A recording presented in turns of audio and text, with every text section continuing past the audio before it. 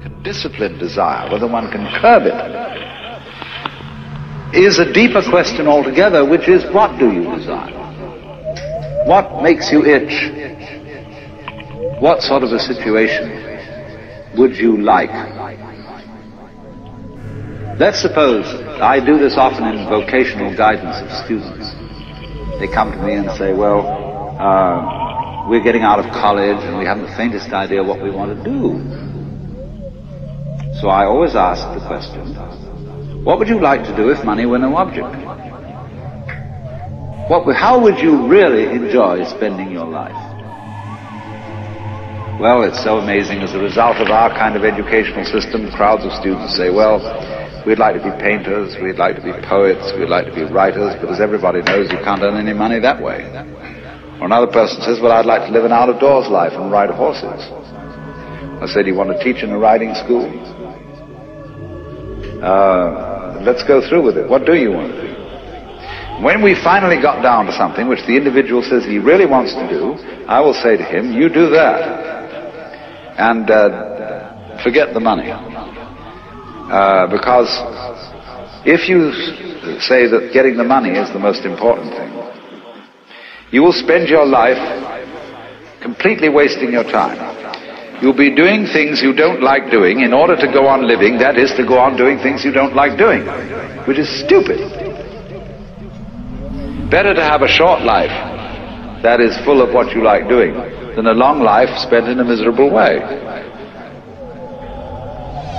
And after all, if you do really like what you're doing, it doesn't matter what it is, you can eventually turn it, uh, you could eventually become a master of it. The only way to become a master of something, to be really with it. And then you'll be able to get a good fee for whatever it is. So uh, don't, don't worry too much. Uh, that's uh, everybody's somebody's interested in everything, and anything you can be interested in, you'll find others with. But it's absolutely stupid to spend your time doing things you don't like in order to go on spending things you don't like and doing things you don't like, and to teach your children to follow in the same track. See, what we're doing is we're bringing up children and educating to live the same sort of lives we're living. In order that uh, they may justify themselves and find satisfaction in life by bringing up their children, to bring up their children to do the same thing, so it's all retch and no vomit. It never gets there.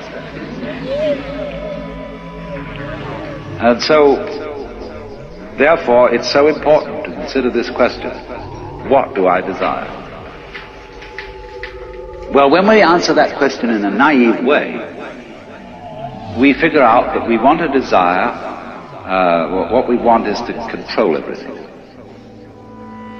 To create girls that don't grow old, apples that don't rot, clothes that never wear out, conveyances that get from one place to another instantly so we don't have to wait, power available to do anything that you could conceive and do it just instantly like that.